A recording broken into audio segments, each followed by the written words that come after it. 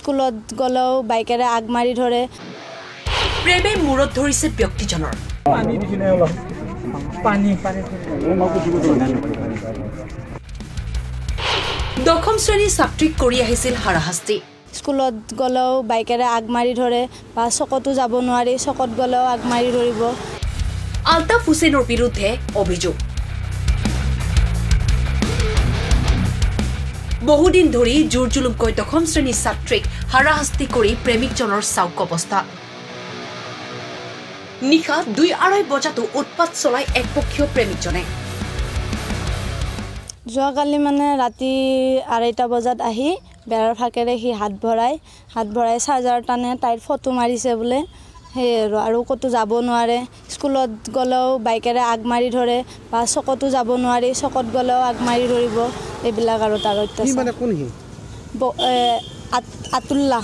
আতুল্লা আতুল্লা ঘৰ ঘৰ অকণমান বধুপাম বধুপাম বধুপাম বুলি কয়। বধুপামত আৰু স্কুলতো যাব নোৱাৰে। তাইক তাইক এবাৰ গাড়ী আগমাৰি ধৰি কেনে চাবি চাবি ওলাই লৈছে যে তোকো মাৰিম ময়ো মৰিম। এইবিলাক আৰু তাইক চকত যাব নোৱাৰি। তাৰ কাৰণে আতুলাৰ কাৰণে চকত যাব নোৱাৰি তাৰপিছত স্কুলত যাব নোৱাৰি টিউশ্যনত যাব নোৱাৰি খালি মোৰ ভণ্টিৰ পিছা কৰে এই আৰু আৰু ৰাতি হ'লে ডিষ্টাৰ্ব কৰে আব্বা নাথাকে। আমি অকলে আম্মা আম্মা মই আৰু আমাৰ ভণ্টি দুটা আমি তিনিটা চাৰিটা আৰু মোৰ ককা থাকে।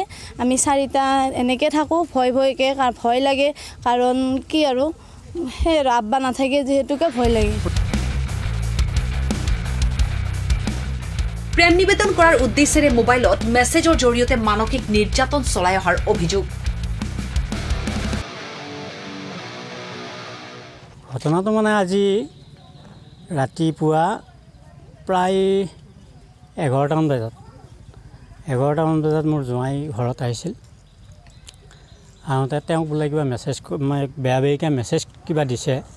সুধিবৰ কাৰণে সোধোতে সি গাড়ীখনৰে খুন্দা মাৰি আতুল্লাই খুন্দা মাৰি পেলাই বাইকখন পেলাই থৈ সি দৌৰিলে।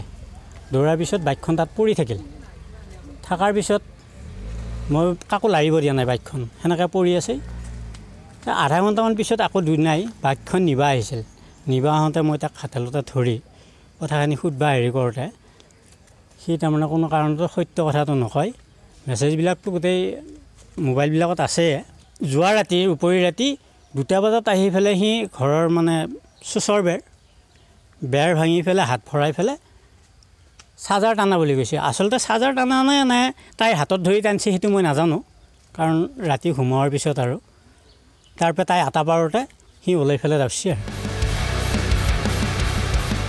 আলতাফ হুছেইনক হাতে লোতে ধৰা পেলোৱাত পলাবলৈ চেষ্টা কৰোঁতেই অভিযোগকাৰীৰ পৰিয়ালে খেদি খেদি যুৱকজনক আটক কৰে আৰু আৰক্ষী উপস্থিত হৈ উদ্ধাৰ কৰে একপক্ষীয় প্ৰেমিকজনক।